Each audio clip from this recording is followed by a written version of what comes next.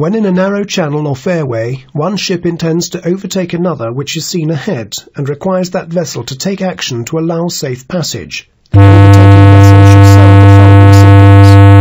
Two long blasts, followed by a short blast on the whistle when the overtaking vessel to indicate, I intend to overtake you on the starboard side.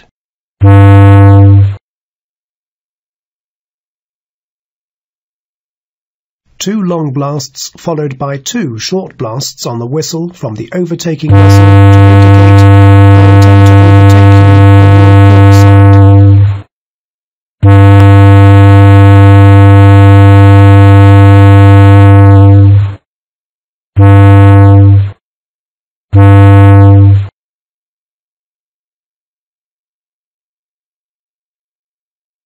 The ship being overtaken should indicate her agreement by sounding a long blast, followed by a short blast, followed by a long blast, followed by a short blast, Morse letter C, to indicate her acceptance at being overtaken on that side,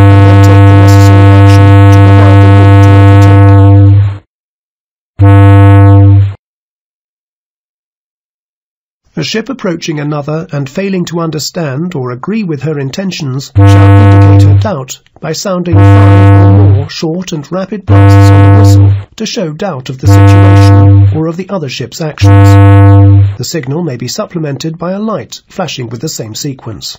Extract from Rule 34. Maneuvering and Warning Signals. Extract from Rule 34. Maneuvering and Warning Signals. C.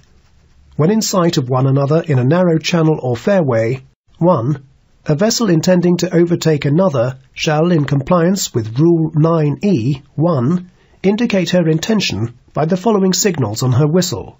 Two prolonged blasts followed by one short blast to mean, I intend to overtake you on your starboard side. Two prolonged blasts followed by two short blasts to mean, I intend to overtake you on your port side. 2. The vessel about to be overtaken when acting in accordance with Rule 9e 1 shall indicate her agreement by the following signal on her whistle. One prolonged, one short, one prolonged, and one short blast in that order. D.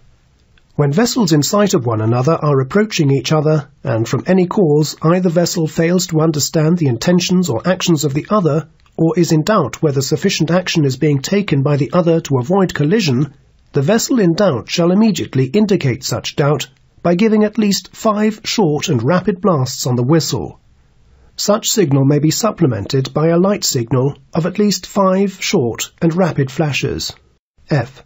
If whistles are fitted on a vessel at a distance apart of more than 100 meters, one whistle only shall be used for giving maneuvering and warning signals.